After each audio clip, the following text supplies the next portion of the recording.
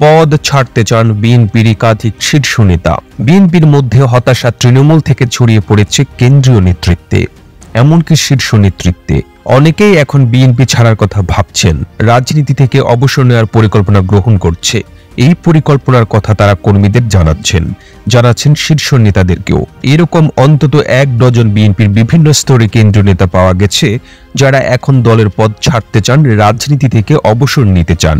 Barrister জমির উদ্দিন সরকার প্রতিষ্ঠানকাল সময় থেকে বিএনপির সঙ্গে ছিলেন। বিএনপি সরকারে থাকার সময় তিনি মন্ত্রী হয়েছেন, স্পিকার হয়েছেন। তার রাষ্ট্রপতি থাকার সম্ভাবনার কথা আলোচিত হলেও শেষ পর্যন্ত তিনি রাষ্ট্রপতি হননি। বিএনপিতে যাদের কোনো বিচ্ছুতি নেই, তাদের মধ্যে একজন ব্যারিস্টার জমির উদ্দিন সরকার। কিন্তু এখন তিনি রাজনীতির মাঠে আর পদচারণা করেন না। বার্ধক্যজনিত কারণে তিনি বাড়িতেই অবস্থান করেন। কিন্তু রাজনৈতিক কর্মসূচিতে তিনি একেবারেই যান না। এখন এই জীবন সায়ান্নে এসে বিএনপির পদ আঁকড়ে রাখতে অনাগ্রহ ব্যক্ত করেছেন তিনি। অন্তত কয়েকজন নেতার কাছ থেকে তিনি বলেছেন যে, এখন তিনি অবসর জীবন যাপন করতে চান। এই পদ কাউকে দিলে তারা যদি দলের জন্য কাজ করে, সেটাই ভালো হবে। কিন্তু এখন পর্যন্ত জমির উদ্দিন সরকার নির্লিপ্তভাবেই যে একরকম অবসর জীবন যাপন করছেন। বিএনপির আরেকজন ত্যাগী পরীক্ষিত নেতা, ব্যারিস্টার রফিকুল ইসলাম মিয়া। তিনি একসময় বিএনপিতে তারেক বিরোধী হিসেবে পরিচিত ছিলেন। তারেক জিয়ার কারণে তিনি দুই হাজার এক সালের নির্বাচনে মনোনয়ন পাননি। কিন্তু মনোনয়ন না পেলেও বেগম খালেদা জিয়ার কারণে তিনি দলে ছিলেন এবং দলে অবহেলিত থেকেও তিনি বিএনপির রাজনীতিকে আঁকড়ে ধরেছিলেন। এক এগারো সময় তিনি প্রস্ফুটিত হন এবং বিএনপির স্থায়ী কমিটির সদস্য হিসেবে তিনি আছেন। কিন্তু শারীরিকভাবে তিনি প্রচণ্ড অসুস্থ, রোগশয্যায় দীর্ঘদিন শায়িত বিএনপির এই প্রবীণ নেতাও এখন রাজনীতি করতে চান না।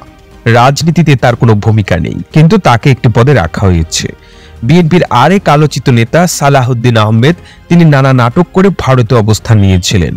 ভারতের আদালত থেকে মুক্ত হওয়ার পরও তিনি এখন পর্যন্ত বাংলাদেশে আসেননি। অনেকেই ধারণা করেছিল যে তিনি দেশের শীর্ষ নেতৃত্ব দিবেন। কিন্তু গুঞ্জন ছড়িয়ে পড়েছে যে সালাউদ্দিন আহমেদ বিএনপির রাজনীতির সঙ্গে আর সক্রিয়ভাবে থাকতে চান না। এরকম বিএনপিতে বেশ কয়েকজন নেতার পরিচয় পাওয়া গেছে যারা এখন রাজনীতিতে নিষ্ক্রিয়। সাত জানুয়ারি নির্বাচনের পর তাদের মধ্যে হতাশা বেড়েছে। এই দলটির আর কোনো ভবিষ্যৎ নেই। এই বিবেচনা করে এখন তারা রাজনীতি থেকে নিজেদেরকে গুটিয়ে ফেলতে চান। শুধুমাত্র যে অসুস্থতার কারণে বা বার্ধক্যজনিত কারণে রাজনীতি থেকে অনেকে সরে যেতে চাইছেন এমনটা নয়।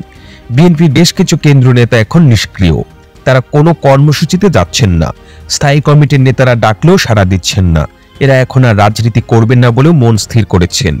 আনুষ্ঠানিকভাবে পদত্যাগপত্র জমা না দিলেও এরা নিজেদেরকে সামনে আনছেন না। এর একমাত্র কারণ হলো বিএনপির ভুল রাজনীতি। ভুল রাজনীতির কারণে বিভিন্ন মামলায় তাদের নাম লেখা হচ্ছে। বিএনপির একজন কেন্দ্র নেতা বলছেন যে, গত এক বছর ধরে তিনি বিএনপির রাজনীতির সঙ্গে সম্পৃক্ত নন। বিএনপির রাজনীতিতে তার কোনো ভূমিকাও নেই। তারপরও তিনি বিভিন্ন মামলার আসামি হয়েছেন।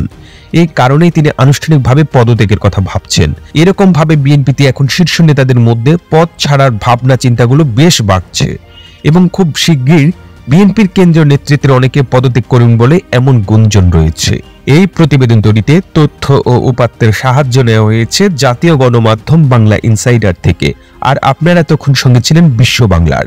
এভাবেই সঙ্গে থাকুন। আমরা তো ফিরছি নতুন নতুন প্রতিবেদন নিয়ে।